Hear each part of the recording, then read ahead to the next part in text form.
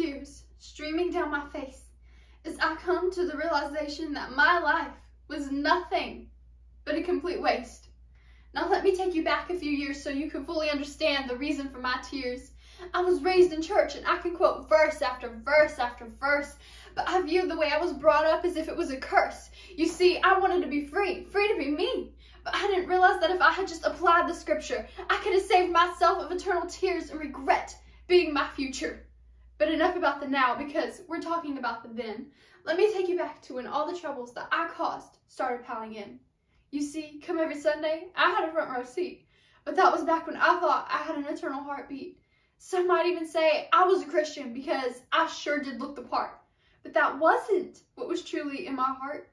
Every now and then the preacher's words would catch my attention and I'd let a little tear slip down my face. But oh God, I know I wasn't crying out in the right place. I know now, I even knew then, that we have to open up our heart. But you see, I was too young to do my part. Yes, you heard me right. I was in church, but my mind was preoccupied with the things I would do when the preacher said service is over. But I don't think you quite understand. I didn't think my life would be over. I wasn't a terrible person. I did do good deeds. But what was in my heart is what brought me to this eternal heat. It wasn't in my heart, so I played around with sin. Nothing too bad, you know, but I thought I was the only one knew, but apparently God did too. The worst part of all this is when I heard God say, Child, you were born for so much more. Oh God, that's when my heart tore. But I had all the time in the world to give my life to Christ until I didn't, and my life was taken out of sight. You see, I'm young, I'm only 20, and when it came to time, I thought I had plenty, but just one sin turned into another, and it took all I had to keep it hidden under. When I say under, I mean under that fake Christian role that I played, and believe me, for that I have paid.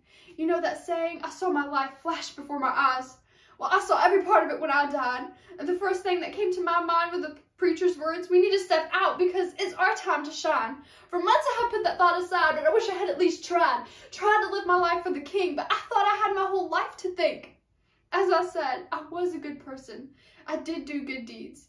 But my mind was completely stuck in the mud, and I realize now that my life wasn't even worth one drop of his blood.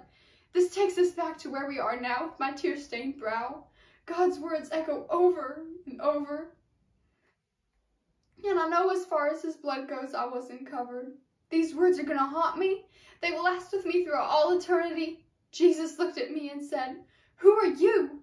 Who am I? God, I was created by you. And he answers, Yes, but after me you never did pursue. I knew right then and there that there was nothing I could do. My emotions ran wild and my thoughts all in a blur. And I could have avoided all of this if my heart I had just poured. What was coming next I knew, but I wasn't prepared for what that flame could do. No, God, I won't accept it. This can't become my reality. Take another look. There's got to be some good that you can find in me. And then I hear the preacher's words again. Good deeds are not all that matter to him. You know what you know, and you can't play dumb when God looks at your life and says no. I never viewed myself as a sinner because, as far as church goes, I was a regular. Though I paid little attention to his sermons, somehow his words have come back with a strong torment. Those preacher's words were the last thing I wanted on my mind because they had the power to reveal what I didn't want to find. And it turns out they were the last thing that came to my mind before I entered this eternal flame. Oh, it hurts. It hurts, but I know I'm to blame. And the worst part of this is, this didn't have to be my reality if I had just opened up my heart and said, God, I am sorry.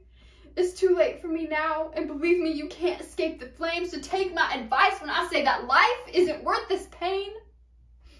Go to the altar, lay down your pride, and give him the praise that he's due. It's too late for me, but if your heart's beating, it's not for you. It's too late for me now. I'm not coming back. Believe me, I've tried, and I can't make the time roll back. These chains are unbreakable, but I live like my heart was unstoppable.